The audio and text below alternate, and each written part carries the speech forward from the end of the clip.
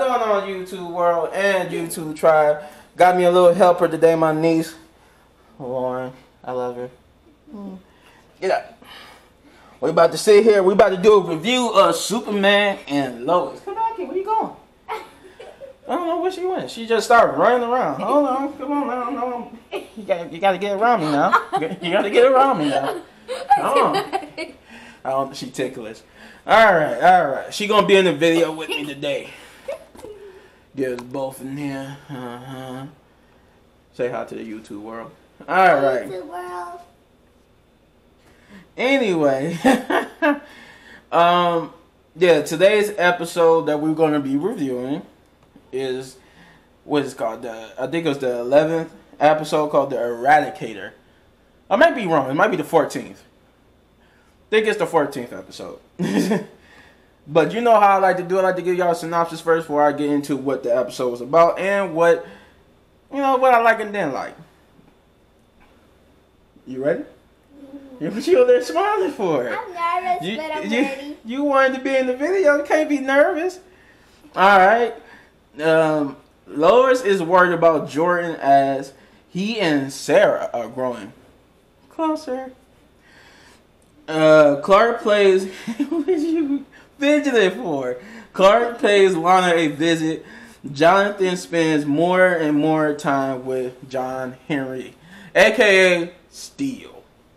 Alright, so what this episode was basically about was that this after the aftermath of uh, uh, uh, Morgan Edge, aka Tor uh, Torel, um, get, I think that was his name, his Kryptonian name, get, uh, becoming the Eradicator and escaping from the D, the Do, uh, the DOA.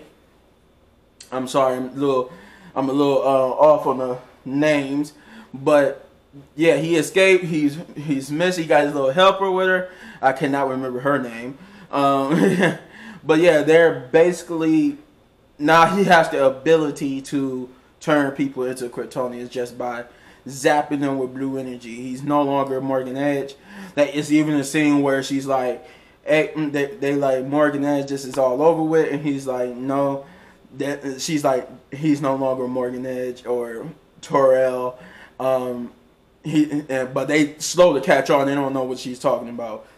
Um, the Sarah and jo- uh, Jordan like was like a little sub story. It was like a um.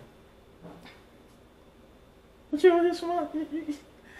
Uh, it was a sub story, basically just about how uh, I think Sarah and her people, uh, Lana and all them are moving, was leading to Clark. The reason why Clark was visiting uh, Lana because he was trying to convince her to stay because she's like, with his mother gone, she's the heart of Smallville.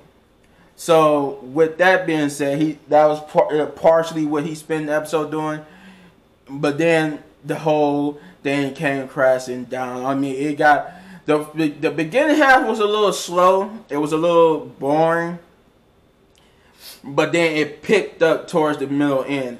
Um, you got Jordan, Jordan, uh, Jordan, um, no, not Jordan, Jonathan he's spending time with Henry Irons. You know, he's telling them, they telling him, you know, they don't like him spending time with, you know, spending time with Henry. You know, building those type of weapons. But he tells them, hey, you can't have it both ways. It's either Morgan Edge is a threat or he's not. And they agree, and they like, man, you make way too much sense. Get out of here. Just get out. So uh, he goes to help uh, Henry. Henry doesn't with you. No, he still have PTSD. He still reeling from the Superman in his world and all the destruction he had, and uh, yeah, he's pretty much like I'm trying to remember what he. Oh yeah, he pretty much like brushed uh, Jordan all because Jordan was like he don't he see Jordan as this kid who needs to be living a normal life instead of building weapons with him. So he telling him like, go do that, go be a normal teenager, have fun, and uh, get and stop wasting my time. You know, a little bit of cruel, but it was like a it was like a wake up, like a little cruel, good spirited thing because he just didn't want him to be like him. Because you could tell by when when Jordan and Jonathan left, he was just sitting there looking like, man, I didn't really mean to be that harsh, but you know, it is what it is. Oh, come on, camera. Um, so, So uh, by that point, Morgan Edge and his little assistant they make they move. They end up going to Metropolis. Um, I think there was uh, there was also a town hall meeting. I forgot. I almost forgot about it.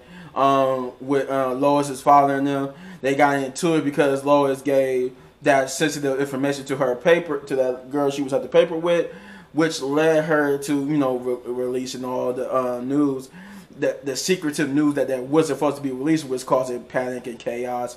Now everybody wants the D, uh, D uh, the DOG out of the uh, out of Smallville basically because they like you know they accusing them of lying. There's all this other different type of stuff that they're not telling people and people just want to know the truth.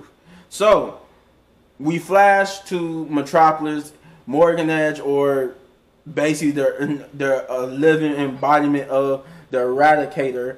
He's uh basically telling Clark that this is the, the reason why they're here in Metropolis because this is the place he championed, this is the place he always protect. So they they thought it was a fitting start to, you know, repopulate uh, Earth with Kryptonians. And little did they know there was some Kryptonians. They already had um, people. They already had turned to Kryptonians.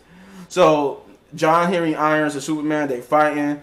That not only Morgan Edge and that I can't, Leslie Leslie is her name. Not only is they fighting Leslie and Morgan Edge, but now they got to fight some humans that become Kryptonians. So in that they have they fight all around destroying stuff, fighting, but have you whatnots. But it, it really picked up because then a certain somebody close to Clark got kidnapped. I won't tell you who it was because you gotta watch the episode for yourself. But a certain someone got kidnapped, and um, the plot thinkers. I think this is like yeah, this is maybe the last episode before. Um, I want to say it's before. Yeah, it's the last episode before the season finale.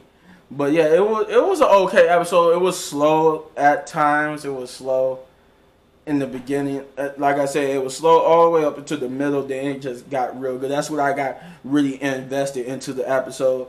But it looks like the next episode will be a head banger and a head scratcher, and we don't know what's going to happen to who. Some people might die, some people might live. Who knows? It's DC. They always, you know, DC just like Marvel. They always have people dying and coming back from the dead, like they did with Laurel Lance. But that's it. That's all I got. Like I said, this uh, I'm not gonna give you too much because this wasn't a sport overview. But what you gotta say to the YouTube world? Go ahead. Hope you stay safe. you heard her. Stay safe. I know it's a gloomy weather is outside, but stay safe, stay clean. Um, remember to always wash your hands. Remember that. Tell them to wash their hands always, right? And wash your hands always. Alright guys, we out of here. But if you enjoyed this video, then hit this button right there in the upper right corner. upper right corner for all of my reviews. And then if you truly enjoyed me and my little helper in this in this video, she like to dab, dab, dab on them again, dab on them again, dab.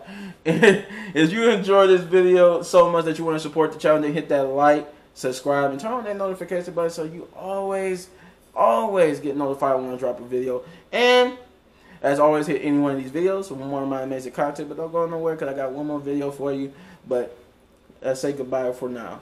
And make sure to comment and like and subscribe and turn those notifications on.